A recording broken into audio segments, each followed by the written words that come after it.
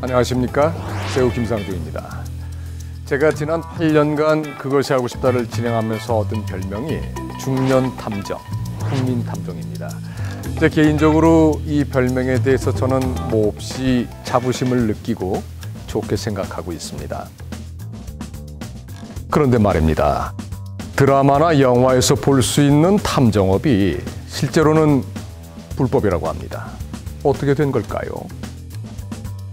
원래 탐정업은 실종자 찾아주기, 기업 보안, 보험 분야, 사이버 안전 등 많은 장점이 있는 반면에 사생활 침해라는 단점도 있습니다. 즉, 양면성을 갖고 있는 것이죠. 그래서 미국, 일본, 영국 등 세계 주요 국가들은 이 탐정업의 장점은 활성화하면서 부작용은 방지하는 관리 법률을 만들어 합법적으로 탐정업을 발전시켜 나가고 있습니다. 이에 반해 우리나라에서는 탐정업을 금지하고 있어서 합법적인 업체 대신에 불법 심부름센터 등의 부작용이 지속되고 있는 상황입니다.